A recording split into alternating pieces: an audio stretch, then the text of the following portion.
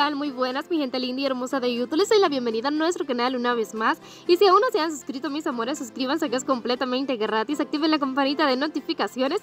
Y así, por supuesto, forman parte de esta linda y hermosa familia de Bobby TV que apenas empieza, mis amores. Sin lugar a dudas, hace poquito el actor Alejandro Spacer emocionó y sorprendió a todos sus fanáticos.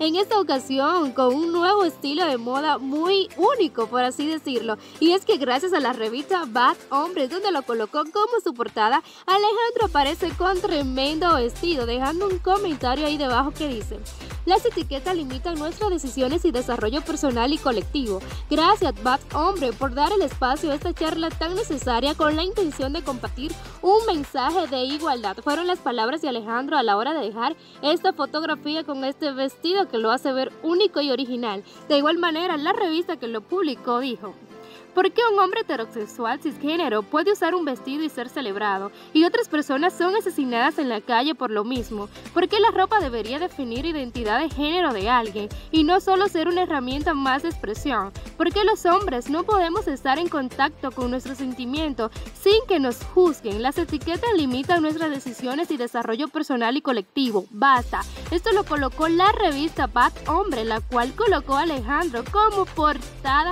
con este vestido tan bonito y original. Déjenme saber sus opiniones en la caja de comentarios. A la verdad es que Alejandro siempre le hacen también sus nuevos estilos de moda. De mi parte, eso ha sido todo por ahora. Un abrazo y hasta la próxima.